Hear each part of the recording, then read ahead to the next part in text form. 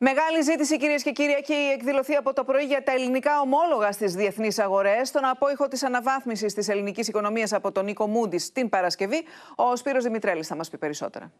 Λίνα, ενώ σε υγειονομικό επίπεδο υπάρχει μια καταιγίδα αρνητικών ειδήσεων, στις αγορές υπάρχει λιακάδα και μάλιστα με ιδιαίτερα υψηλές θερμοκρασίες για τα ελληνικά ομόλογα, όπως είπες και εσύ. Στον απόϊχο της αναβάθμισης της ελληνικής οικονομίας την Παρασκευή από τον Νίκο Μούντις, τα ελληνικά ομόλογα ε, εμφανίζουν ισχυρή ζήτηση από το πρωί, με τις διάρκειες έως τα τρία έτη να είναι αρνητικές, ενώ στο δεκαετές να έχει υποχωρήσει η απόδοση σε αρνητικό ρεκόρ όλων των εποχών στο 0,74%. Στο 0 ουσιαστικά κοντά στο 0 και η απόδοση του πενταετούς με 0,01% απόδοση. Όπως είπαμε, αιτία είναι η αναβάθμιση της ελληνικής οικονομίας από τον Νίκο Μούντις που βλέπει συνέχιση των μεταρρυθμίσεων στην ελληνική οικονομία και βεβαίως θετικές προοπτικές όταν τερματιστεί η κρίση του κορονοϊού. Μάλιστα, πάμε να δούμε και τι γίνεται στα ευρωπαϊκά χρηματιστήρια μετά την εκλογή Biden, Σπύρο; Οι διεθνείς αγορές Λίνα προεξοφλούν θετικά την εκλογή του Δημοκρατικού Προέδρου στις Ηνωμένες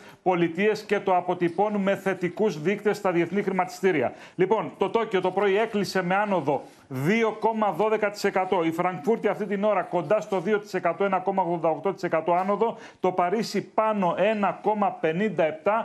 Το Λονδίνο 1,25% και η Αθήνα πριν από λίγο 3,1%. Θετικά ανωδικά κινείται και το πετρέλαιο με 40,28 δολάρια το βαρέλι και άνοδο 2,1%. Σε ευχαριστώ πολύ.